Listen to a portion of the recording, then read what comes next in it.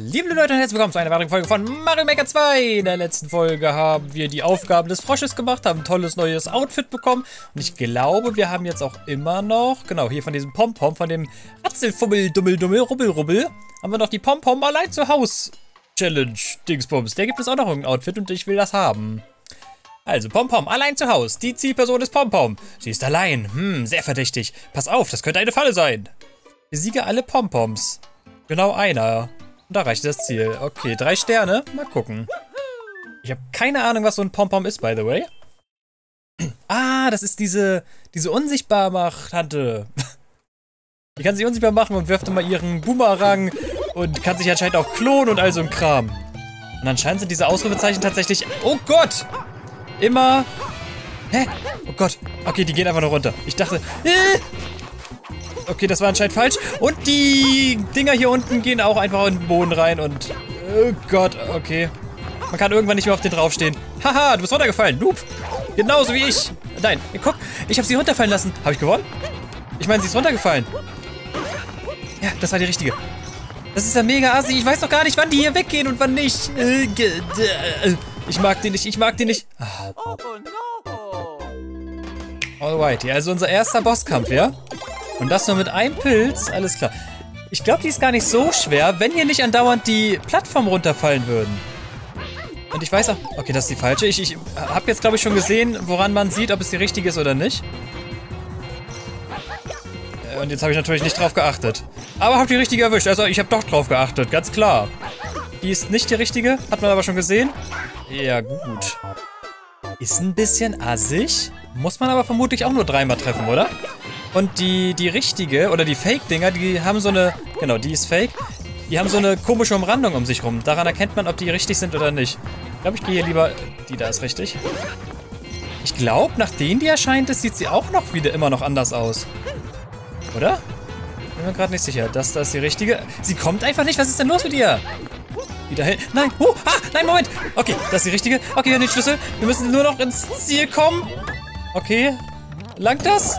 30 Münzen. Yeah. Whee. Und Nummer 40 Münzen.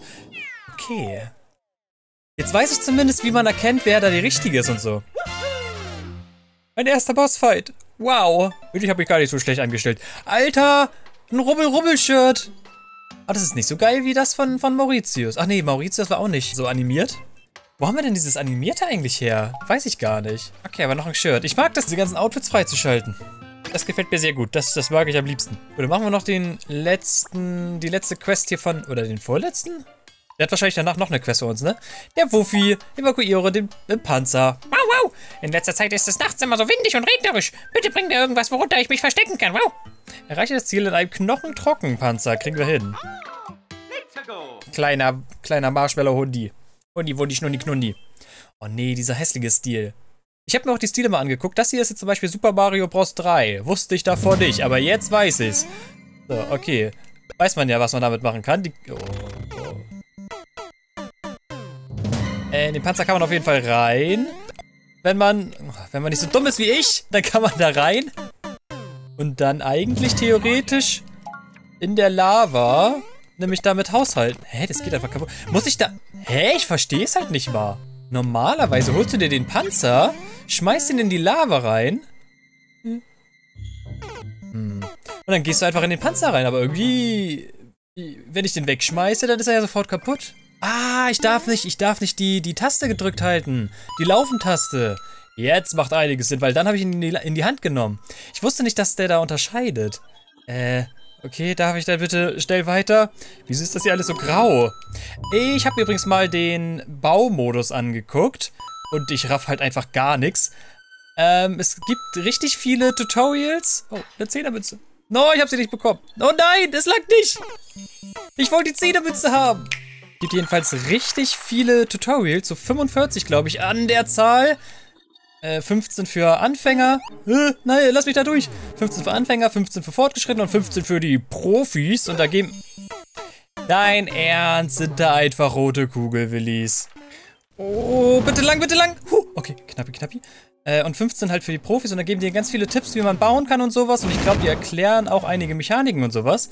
Ist also mega gut eigentlich für mich, aber ich habe mich jetzt noch nicht da durchgerungen, mir das alles anzugucken. Sollte ich aber vielleicht mal machen, weil an sich der, der Aufbaumodus, der ist eigentlich recht interessant, was man da alles machen kann.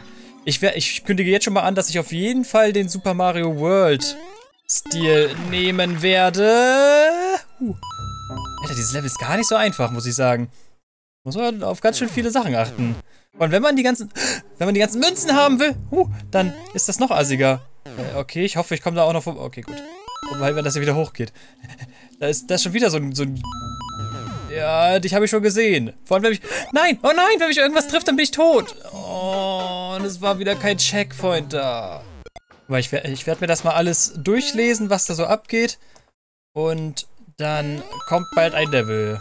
Hoffentlich. Kann wahrscheinlich noch ein bisschen dauern. Ich habe eigentlich ja vorgenommen, dass ich erst die ganze Story durchspiele, damit ich halt alles raffe. Ich glaube, diesmal hole ich mir die 10 Münzen da nicht. Das war mir eben zu knappi alles.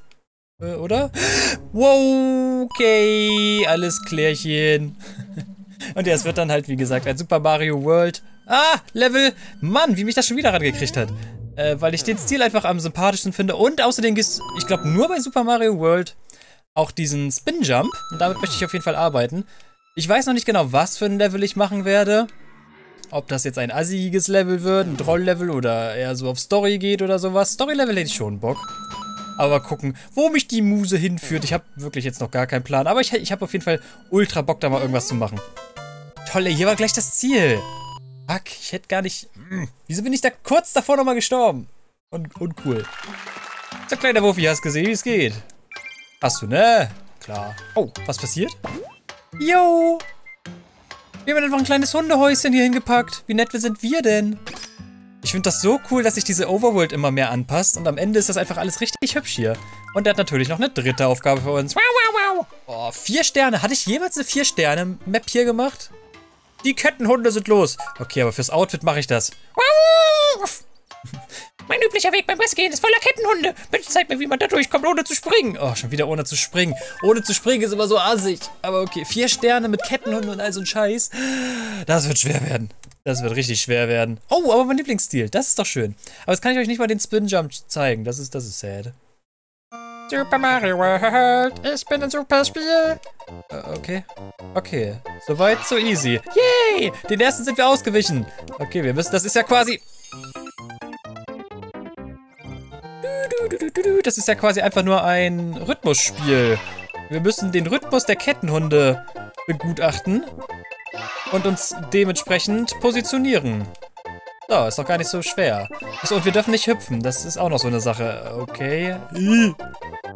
Einfach durch? Uh, ja, okay, einfach durch. Einfach durch. Einfach durch. Laufen können wir ja trotzdem. Wir dürfen nur nicht den Boden verlassen. Und diesmal achten wir auch drauf, ob wir irgendwo runterfallen und sowas.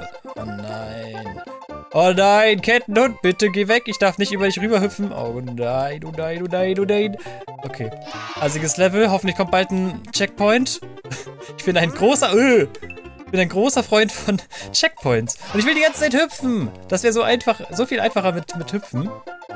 Ich werde aber, glaube ich, auch auf jeden Fall eine... Oh Mann. Okay. Äh, eine Win-Condition einbauen. Ah! Come on, kommt da so ein Kettenhund. Oh, und Mario ist so slippery. Warum ist er so slippery? Echt nicht geil, dass er so slippery ist. An sich muss man ja einfach immer äh, da stehen, wo die ankommen und dann kurz dahinter sein. So, der kann dann ja eigentlich gar nicht treffen. So ein komisches Pendel hier, wie es die Physiker immer haben. Sind die Physiker, ne? Ich glaube schon. Mit ihrem Pendulum. Pendulum Swing. Yeah. Ist sogar ein geiles Lied. Hört euch, hört euch das an. So, go. Okay, mein, mein Tipp hat doch nicht so funktioniert, wie ich das gedacht hätte. Der hat immer krasse Aufgaben, der rückgängige Hund. Das ist echt krass. Aber wie der, der kommt doch überhaupt nicht im Leben klar. Wir müssen ihm einfach alles zeigen, wie alles geht. Komischer Hundi. Ja, okay. Apropos Hundi, ich habe ich hab mit Aaron draußen eben noch gespielt. Ist erstens übelst anstrengend, weil mein Hund hat voll die Kraft und was weiß ich. Und komischerweise, wenn man, also er ist, ein richtig lieber Hund, aber wenn man mit ihm draußen spielt, dann fällt er einen auch an und sowas und, und beißt und was weiß ich, aber nur so spaßmäßig. Aber schon mit 10, also er beißt tatsächlich. Aber halt nicht bösartig, sondern so spielartig. Aber man hat trotzdem dann seine Narben. Von meinem ersten Hund habe ich auch noch eine Narbe. Weil der, der war irgendwie... Oh... äh, Essens wütig, süchtig, Essens irgendwie. Also ich hatte ja mal zwei Hunde und der eine Hund mochte das nicht, wenn der andere Hund, ich nehme dir das mit, haha, geklaut. Wenn der andere Hund was zu essen bekommen hatte und er selber nicht. Und den hatte der kleinere Hund den größeren Hund. Ich glaube, ich brauche den sogar, ne? Guck mal, wie krass ich bin. äh, ange, angefaucht, wollte ich gerade sagen, aber es sind ja der Hunde. Deswegen, die fauchen ja gar nicht. Hui! Party hard! Nice. Ähm, angeknurrt. Hat den anderen Hund angeknurrt und dann, dann wollte ich die halt auseinander treiben. Und dabei hat mich dann der eine Hund ange, angefallen, richtig gebissen, weil der dachte wohl, ich, ich wäre der, größere Hund. Toll, ein scheiß Kleid hier, das ziehe ich doch sowieso nicht an.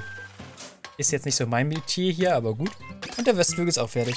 Yeah, oh yeah, wir sind alle glücklich, woo! Aber ja, da hat mich dann mein Hund richtig krass gebissen und da habe ich auch noch jetzt eine Narbe, die, die ging richtig tief rein in, in meine Haut. Das war, das war nicht cool. Also Leute, wenn eure Hunde futterneidisch sind, dann versucht nicht die auseinanderzutreiben. Das ist, das ist nicht gut für euch. Aber jetzt habe ich wenigstens immer, immer ein Andenken an sie. Weil, weil der Hund ist jetzt leider auch schon wieder tot. Ja, so. Hier, ich habe Sachen gemacht. Ich will, nee, warte, ich will noch keinen Auftrag. Aber ich habe auch nicht genug Geld für irgendwas, ne? Fertig, zweiter Stock ist fertig. Ja, diese Eleganz. Oh, wie schön. Das günstigste ist 700. Boah, da müssen wir aber einiges sparen. Der grüne Tod jetzt vielleicht was Neues für uns? Irgendeine neue Aufgabe? Hallo, grüner Tod, hast du gut gemacht. Hast du was Neues? Ja, ich hab nichts Neues. Na gut. Dann würde ich sagen, wecken wir mal den lila Tod. Nee, der Pau-Block-Wecker. Oh, damit können wir bestimmt den gelben Tod wecken, mit diesem Pau-Block-Wecker. Wenn du mit Paublöcken ordentlich Rabatz machst, wacht die Schlafmütze sicher auf. Und zufällig müsste ich auch die perfekte Stelle, wo er vor Paublöcken nur so wimmelt. Also dann, tob dich aus. Besiege alle Stachis. Mit Paublöcken, okay. Ich muss sagen, dieser Story-Modus ist recht gechillt. Merkt man vielleicht auch an meinem, Kommentarstil eventuell. Ich bin, ich, ich habe gemerkt beim, beim Schneiden, dass ich ein bisschen ruhiger bin bei, bei Mario Maker. Außer halt, wenn, wenn irgendwas Unvorhersehbares passiert. Ja, Lel, ich habe nicht so viel Zeit. Ich weiß nicht, wie ich die aktiviere. Okay, ich weiß es doch. Okay, ich muss alle drei aktivieren. Da ist auch noch eine... eine die 30er-Münze da oben geht weg. Warum? Ich muss alle Powerblöcke aktivieren, damit sie alle tot sind. Habe ich geschafft. Und dann kann ich ja wieder raus, ne? Diese Sonne da oben war ja komisch. Okay, das war ja super easy. So, welcher Stil war das jetzt? Das müsste auch der Super Mario Bros. 3 Stil gewesen sein, oder? Ich habe mir das extra mal aufgeschrieben und will die jetzt mal ein bisschen lernen, damit ich raffe, wo ich was machen kann. Ich finde New Super Mario Bros. U zum Beispiel und diese neue Super Mario 3D World, die Stile finde ich auch sehr, sehr schwer auseinanderzuhalten. Es gibt übrigens fünf Stile. Nur, nur so. Oh, gelber Toad, dann wach mal auf. Oh, das ist schon süß. Süße Sachen, die gehen, sind noch viel ultra süßer. Das macht die mindestens 20% süßer, Rarara, wenn sie gehen. Hi, gelber Tod. Äh, jetzt bin ich aber mal gut ausgeschlafen. Ah, ich konnte den von den Bauleitern gewünschten Steinquader einfach nicht finden. Da habe ich mich erstmal hingelegt. Aber jetzt, wo du hier bist, ist ja alles geregelt. Du besorgst ganz einfach den Steinquader für mich, oder? Am besten suchst du erstmal hier. In unterirdischen Steinbruch. Nur ein Stern, das ist ja süß. Die Bauleiterin besteht darauf, dass wir ganz spezielle Steinquader verwenden, die es nur in den Höhlen gibt. Alles klar, ich hol dir deinen Steinquader. Nichts einfacher als das. Ja, Lieblingsstil, Super Mario World. Ich, ich nenne das jetzt ein paar Mal. bis es in meinem Kopf drin ist, nenne ich jetzt die ganzen Stile. Bis ich, bis ich das kann, ohne abzugucken. Ich habe mir die ohne Witz vor mir hingeschrieben auf ein, äh, auf so, so ein, wie nennt man diese, diese Papierdinger, Genau, hier kann man diesen Spin-Jump nämlich machen. Äh, Post-it. Auf dem Post-it habe ich das draufgeschrieben. Ach, shit. Aber man kann... Ah, jetzt sehe ich es auch da oben. Blinken diese Steine. Und davon sollen wir einen mitnehmen. Aber die machen uns natürlich auch mega schwer, wenn wir davon einen mitnehmen. Dann müssen wir, glaube ich, mal im ganzen Level drauf achten, ob man die irgendwo mitnehmen kann. Wir sollen hier quasi einen Stein abtragen, ja? Die sind aber alle versperrt, an die kommen wir alle nicht ran. Okay, alles easy. Da unten ist auch einer, aber da kommen wir auch nicht ran geil mit Spin-Jumps hier arbeiten. Das kann ich richtig gut. Pow! Habe ich noch nie gemacht. Spin-Jumps sind aber so cool. Ich finde diese Mechanik so geil. Spin-Jumps machen mega Spaß. Yoshi! Na, du kleiner Fratz. Hier, nimm mal die Mützen mit. Oh ja, die schmecken lecker. Oh, geil, Mützen. Da kommen wir leider nicht ran. Können wir? Oh, man kann ja alles mitnehmen. Und man kann die einfach wieder wegschießen. Wie witzig ist das denn? Das tötet sogar Leute. Ja, One-Up, meins. Kann man die auch? Eins. Ja, lol. Okay. Äh, ich vermute einfach mal. Oh, müssen wir ihn hier wirklich loslassen? Warte, warte. Ich vermute aber, wir müssen mit Yoshi vielleicht so einen, so Stein holen. Meint ihr, das geht? Nein, Yoshi, bleib hier, Yoshi! Yoshi, ich brauch dich! Oh, komm. Ich wollte nur gucken, ob ich mit ihm irgendwie einen Stein mir holen kann. Aber ich glaube, da das nur einen Stern hat... ich bin trotzdem schon zweimal gestorben. Die Map hat nur einen Stern, oder was war das? Oder? Hatte das mehr Sterne? War das ein anderes Level, das weniger Sterne hatte? Kann mir halt richtig gut vorstellen, dass man... Lol. Man kann dann an Yoshi einfach einsaugen. ich kann mir vorstellen, dass man halt wirklich irgendwie mit Yoshi so einen, so einen Klumpen sich holen muss. Haben die auch einsaugen? Nee. Hätte mich auch gewundert. Ja, tschüss Yoshi, ne? Hab dich lieb. Da bist du ja wieder. Okay. Äh, wir müssen ihn hier sowieso dann liegen lassen, oder? Weil, ja, ich kann nicht so hoch hüpfen. Nee, wir müssen tatsächlich mit Yoshi so einen Stein holen. Ich wusste es. Hab's gewusst. Hab's geahnt, hab's gewusst, hab's alles mögliche. Okay, aber ich weiß nicht, wo ich an einen rankommen soll. Da muss ich ja den ganzen Weg wieder zurücklaufen. Der hier zum Beispiel. Ah ja, das geht. Okay. Ah, und mit Yoshi kann man den noch einfach mitnehmen und das gleich schnell. Okay, das ist natürlich sehr nice. Ich weiß jetzt noch nicht, wie wir mit dem Stein ins Ziel kommen sollen. Und ich hoffe, er schluckt den nicht runter. Das wäre richtig doof. Okay, jetzt rennt auch langsam die Zeit. Ist alles okay? Alles okay. So, wie kriege ich jetzt den Stein darüber? Keine Ahnung.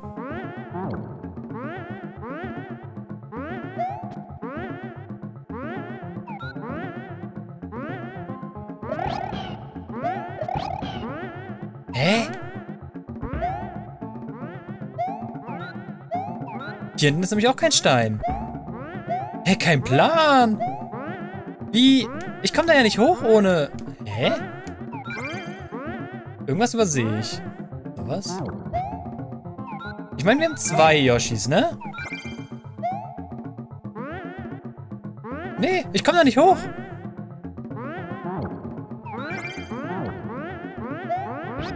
Pass auf. Vielleicht muss Yoshi wenn ich jetzt den, den Stein hier mitnehme, den sollte ich doch so tragen können, ja. Ich kann den aber auch nicht tragen mit, mit Yoshi. Aber ich kann den nach oben schleudern, oder? Auch nicht. Hä?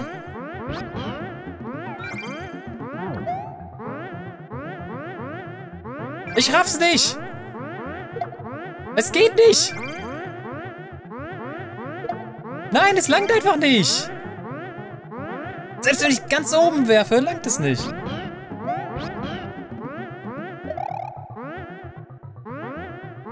Und die Zeit ist um. Hä? Hat bestimmt irgendeinen Tipp noch gegeben, oder? Hä, okay, der geparkte Yoshi ist auch nicht hier. Wie kriege ich Yoshi dazu, mir den Stein jetzt hier nach oben zu geben? Übersehe ich irgendwas? Ist hier noch irgendwie ein Stein, den ich nicht sehe? Oh, ich habe eine Idee. Ich gehe mit Yoshi auf die rechte Seite. Oh, wie schlau ich bin. okay, da musste man ja tatsächlich überlegen.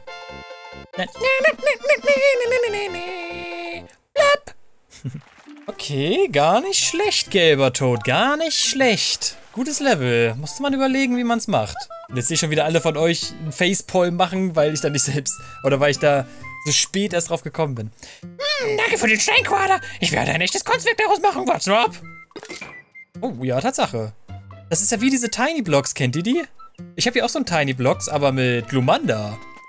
Die sind gerade voll im Trend. Auf jeden Fall waren sie jetzt in Japan. Keine Ahnung, was es die überhaupt in, in Deutschland gibt. Ist so wie Lego, aber mit so ganz kleinen Blöcken.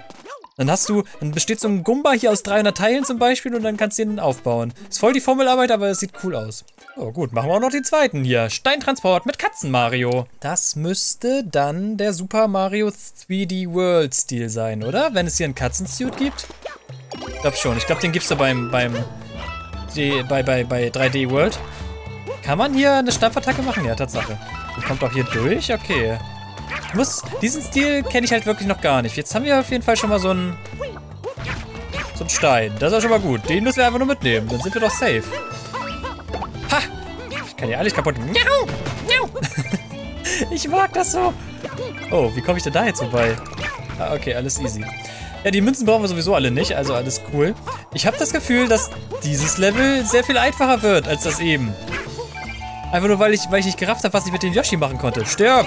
Ich, ich schmeiß... Oh, okay, warte. Nein! Kriege ich den noch hoch? Oh, nö! Ah, ich kann aber doch mit denen nach oben, oder? Okay, gut. Ich dachte gerade schon. Okay.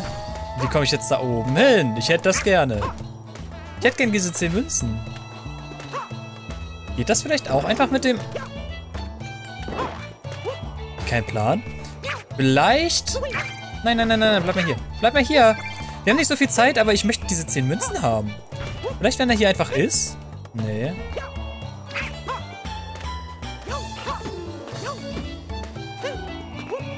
Doch, aha. Okay, cool. Dann, dann kann ich an die Röhre ran und dann kann ich da hoch. Okay, mega nice. Jetzt fangen hier die richtigen Level an, Leute, wo man auch nachdenken muss und so. Ohne, dass es ein Rätsellevel ist. Per se. So, da kann man bestimmt nicht rein. Wieso sollte ich da oben hin? Ich muss da oben sogar hin. Aber man kann den da durchschicken. Das ist voll cool. Jetzt ohne Witz.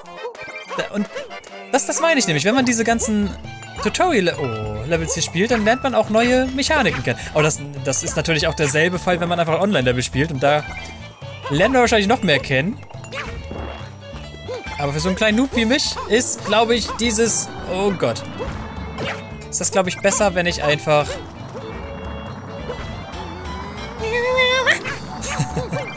Voll süß. Äh, wenn ich diesen, den Story-Modus spiele. Los, lauf Mario, hier ist bestimmt gleich das Ziel. Da ist noch eine 30er-Münze, aber ich habe keinen Plan, ob ich das überhaupt haben will. Äh, ich, ich weiß nicht, ich habe auch keine Zeit mehr.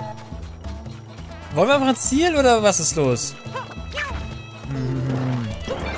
Wie, wie kriegt man denn den jetzt da oben hin? Hä? Also noch haben wir ja Zeit. Wir können es einmal ausprobieren.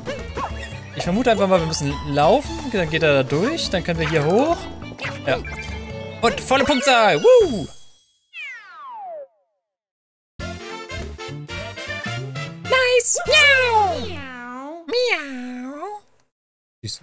Und jetzt kommt da bestimmt so ein Cat Mario, oder? Als Tiny Block. Es ist einfach ein Cheap Cheap, aber auch sehr süß. Sogar ein pinker Cheap Cheap. Nicht die roten, nein, nein, gleich der pinke. Und er hat noch eine Aufgabe für uns. Und wahrscheinlich sein letzter Steinquader im Fluss. Nee, noch ein Wasserlevel. Aber ich habe gar keine Lust zu. Aber da muss bestimmt irgendwas richtig Cooles dann als letztes kommen. Aber ich würde sagen, das war's dann erstmal wieder mit dieser Folge. Äh, ja, bedanke mich auf jeden Fall recht herzlich fürs Zuschauen, liebe Leute. Würde mich freuen, ob ihr beim nächsten Mal wieder dabei seid. Wir haben so gar keine, gar kein Geld diese Folge gesammelt. Holy moly. Äh, ja, dann bis zum nächsten Mal und tschüss. tschüss.